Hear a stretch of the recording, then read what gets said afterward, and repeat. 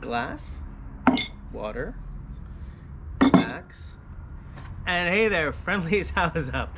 Welcome to uh, another episode of Dribs and Drams. I got something kind of cool for you today. This is. I don't want to ruin the big reveal. Isle of Raasay R01, first release uh, available in Canada anyway, uh, and I'm looking forward to trying it out. So uh, let's get into it, and then we'll talk a little bit.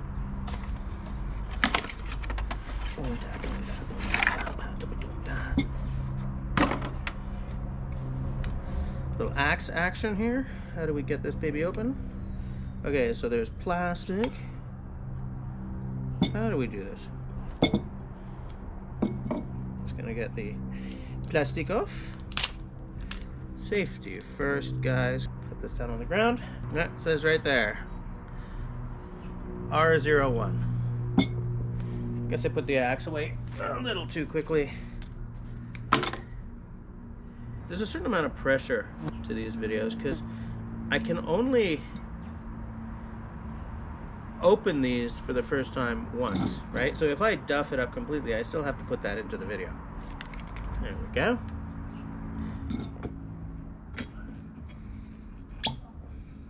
All right.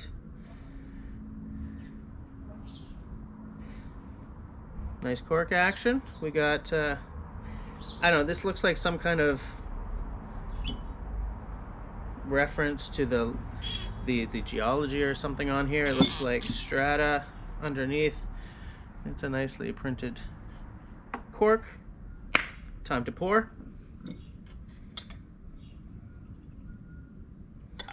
All right. So look, um, a couple of things here. I have no idea what to expect from this because Raasay is new, man. They opened in I think September of 2017. Okay, so this isn't like I'm opening an Ardbeg or something where I've sort of got a sense of the history uh, and the flavor profile. I don't know anything about this. Uh, what do I know? This is the inaugural release that was available, you know, generally. They're trying something interesting with their barrels. They call it their six barrel process, but it's actually just three different kinds of barrels. But what's happening in here is that there's peated and unpeated going through this, the same three kinds of barrels in each bottle. So uh, there's gonna be something lightly peated. We're talking like around 50 ppm, 48 to 50.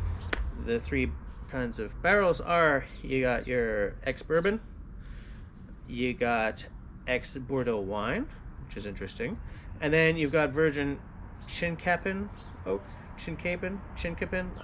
I don't know. I don't know anything about that, but it's virgin.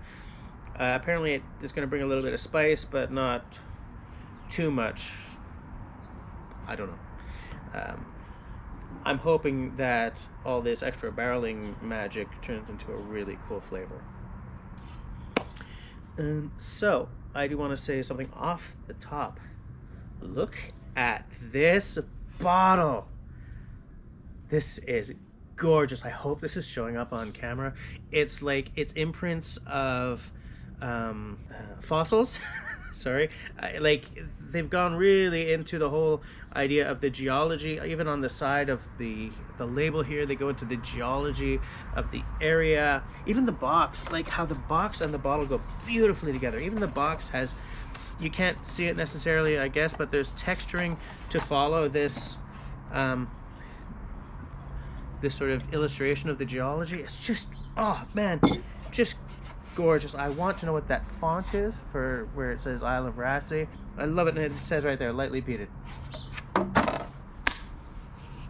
Oh, I'm excited about this because, I mean, this is the newest of the new for me. I sort of felt that a bit about the, the High Coast as well. I knew nothing about High Coast. Let's just get into it. Uh, first off, checklist, because checklist affects everything else. Single malt, yes. Age statement, no. What's the percentage on this? 46? 46.4%, so we're north of the 45, which is nice. And no chill filtering, no caramel coloring, and it says it right there. Natural color, non-chill filtered. Thank you, Isle of Raasay. So, I mean, aside from the no age statement aspect, uh, that's that's big marks. Let's take a look at it. Uh, as I said, since we know that this is natural color, beautiful straw color, very nice. I'm looking at the, for the uh, for the tears, some but not much. So I'm expecting a nice oily mouth feel. Beautiful, absolutely beautiful. Okay, Let, let's go for it. okay. So there is a bit of peat there. It's not heavy, absolutely not heavy. Uh, there's a freshness, a lightness. There's a there's almost a playful thing happening, a sprightliness.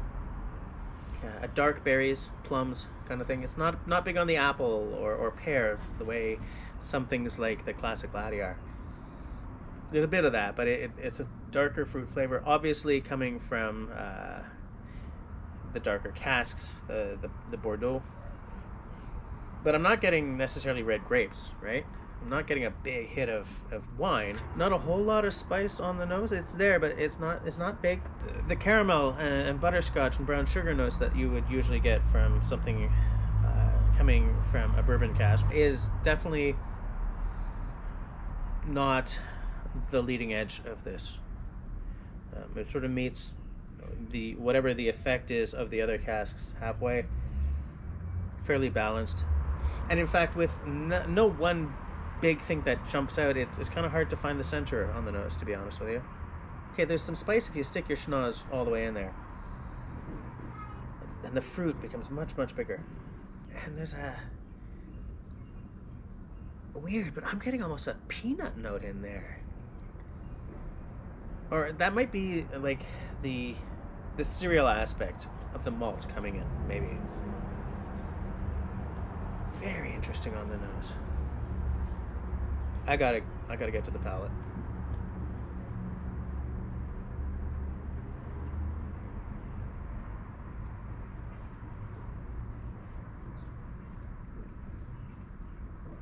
Okay.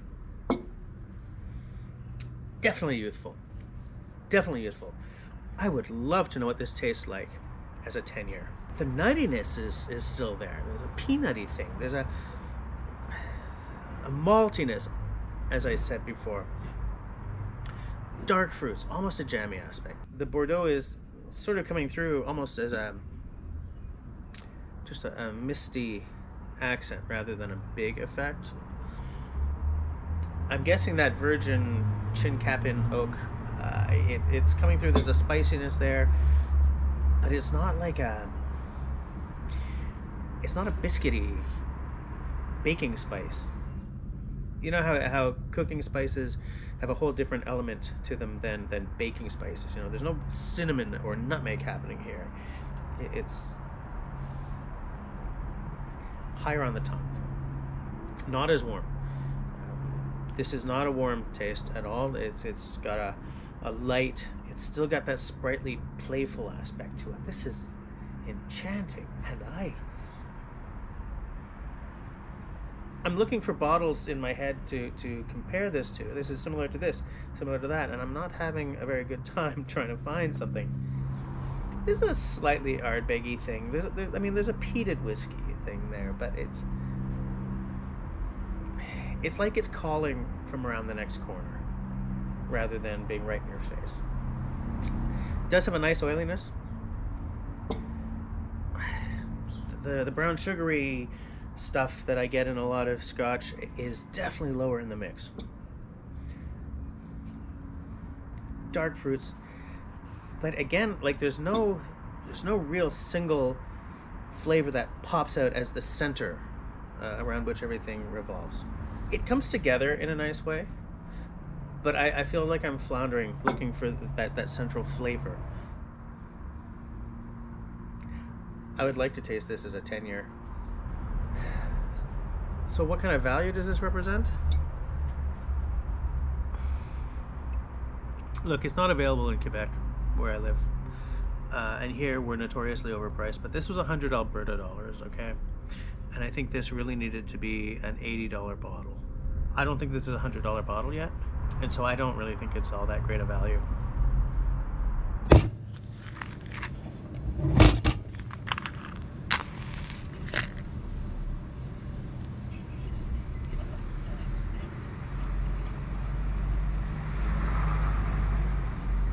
There we lit. There we go. Okay, this is awkward. Um, I discovered. There we go. I discovered in the edit that all the footage from me destroying the whiskey with water to the, you know, thanks for hanging out with me, do the following three things, gone. So uh, I wanted to say, um, well, I wanted to do the outro, but I also want to say that one thing you may have noticed, and you will probably notice over the next few videos, is that I'm kind of playing with the um, the grading process. So we'll see how that turns out. Uh, man, my flame is disappearing fast on me here. There we go. Uh, so yeah, uh, as I always say, uh, thanks for hanging out with me. if you like what I'm doing, please do the following three things. One, comment down below. Do you like professional level videos like this? uh, second, please share this video that helps me more than you could possibly imagine. And three, leave me a smiley thumb. If you don't like what I'm doing, that's okay. Leave me a frowny thumb. Thanks for watching, guys. Crap.